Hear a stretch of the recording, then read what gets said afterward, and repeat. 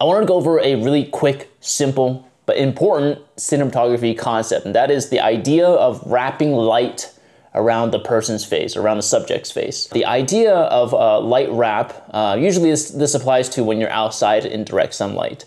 Uh, the idea is to use existing light or adding a light to wrap the existing light into your subject's face. Does that make sense? Hang on. Okay, to explain it like you're five, it looks like this. Okay, so pretend we're gonna get take this plastic wrap. Oh my God, this thing is broken. Nice. Here's the plastic wrap, okay? Pretend this is light. This is, this is light visualized right here okay? The idea of a light wrap is to take existing light. So let's, let's take a look at this window light that's coming in through the window right here off to my left side. So we're gonna take that light and we're going to take it and introduce a second light to try and wrap the light around my face like this. Okay, that's all we're doing. That's the, whole idea of a light wrap is to literally take light uh, that is ex existing inside your space, ambient light or light that you have introduced yourself, that you have turned on to light up the space.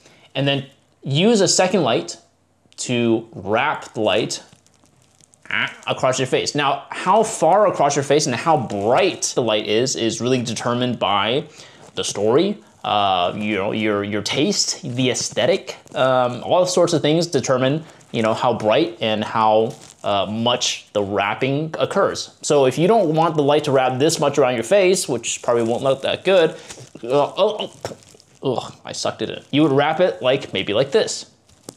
Maybe like halfway across your face like this. Or maybe a little bit more, like this.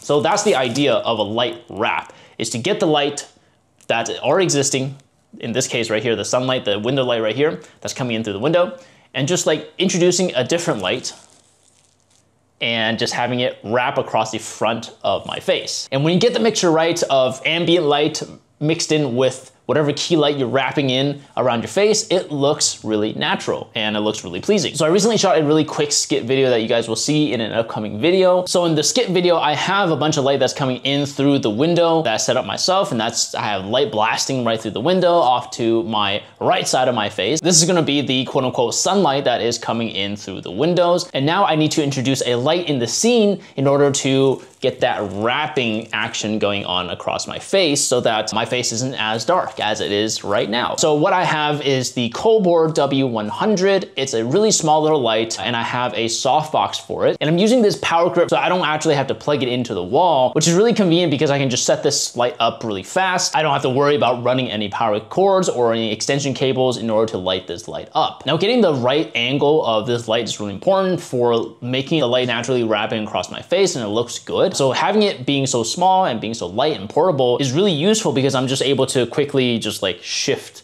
the light around, make little micro adjustments if needed really quickly. And the power grip actually powers up the light for a surprising uh, amount of time. Even though I was at like 30, 40% the whole time because I don't need the full output of a 100 watt light. The light will look way too blown out if I set it to anything higher than like 30%. The color temperature of the W100 was set to around 55, 5600 Kelvin. Every light outside was also set to like 56, 55 Kelvin. Camera was set to about like 4800 Kelvin. That's what looked really good for me, like the most natural for me. Okay, but that's it for this video. Uh, it's a really quick one, really simple one. Really wanted to show you that technique that I've been using. It's been really helping me get better looking shots. So hopefully it helps you too. Let me know if you have any other questions down below in the comments and then check out the Colbor W100 light. So until next one, my name is Alex Cheung and I'll see you later. Bye.